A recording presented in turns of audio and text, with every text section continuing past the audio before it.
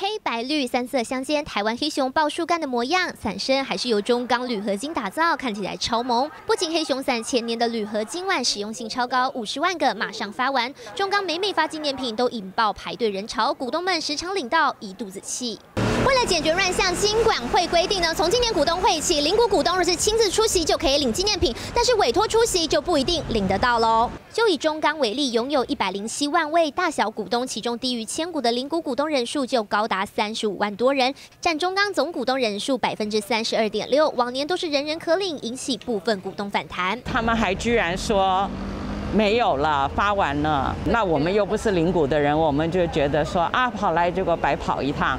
最好是啊，持平的嘛，大家都能拿到这这一份这个礼物，当然会很开心哦。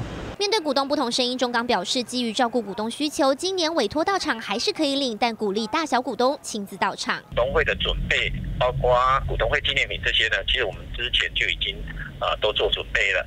所以今年来讲，我们应该不至于会有太大的改变。股东会季节来临，纪念品势必又成为话题之一。尽管会表示，发放对象方式交由各公司自行定规则，但开会通知书必须载明清楚发放原则，避免不必要的冲突。记者林伟、王乃瑜台北报道。